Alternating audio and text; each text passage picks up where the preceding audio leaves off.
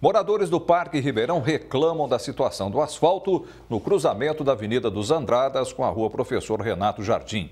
As duas vias acumulam crateras há anos e trazem problemas aos motoristas e moradores.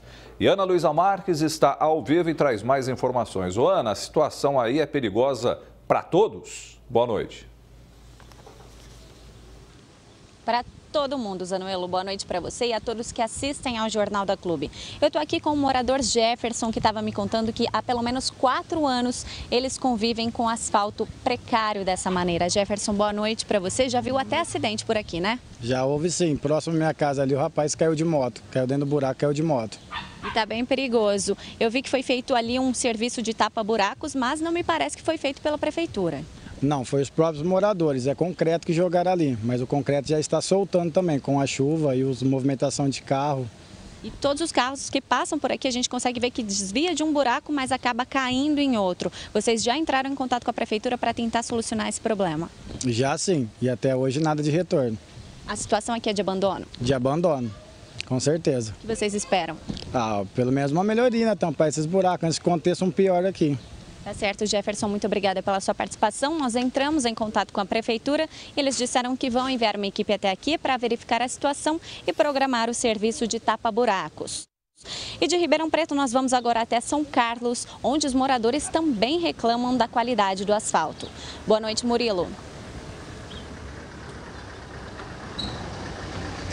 Boa noite, Ana. Boa noite a todos que estão assistindo ao Jornal da Clube. Serão Pretos, moradores estão reclamando há quatro anos. Aqui em São Carlos, onde eu estou, é, há três anos os moradores reclamam dessa situação precária que está atrapalhando a vida de todos, inclusive dos motoristas que passam por aqui nessa rua que tem bastante movimento. A Edneia está aqui ao meu lado, mora aqui, reclama bastante dessa situação precária que ninguém consegue resolver, né? Boa noite, Edneia. Boa noite. Sim, a, a gente reclama, a gente já foi na prefeitura, reclamou, você vê, ó, então os buracos aí, empoça a água.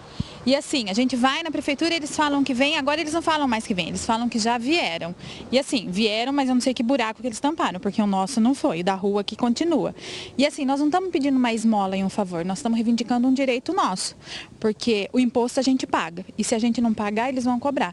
Então a única coisa que a gente quer é que a prefeitura resolva isso, porque a gente tem criança, tem carro, passa o pessoal de moto, de bicicleta e é complicado.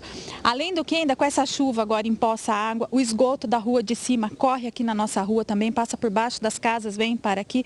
Tem dia que a gente não aguenta o mau cheiro, é mosquito, é tudo e nada se resolve.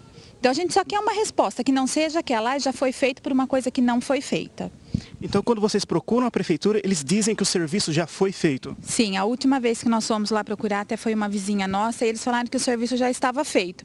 Então tá aqui, né? A gente mata a cobra e mostra o pau. O serviço não foi feito. Edneia, muito obrigada pela sua participação aqui no Jornal da Clube. E nós também procuramos a prefeitura, mas sobre uma data para vir até o local pela equipe Tapa Buraco, não foi passada para nós. Eu volto com você no estúdio, Zanuelo. Obrigado, Murilo, ao vivo de São Carlos, que mostrou hoje, junto com a Edneia, essas péssimas condições do asfalto aí no Jardim Mercedes.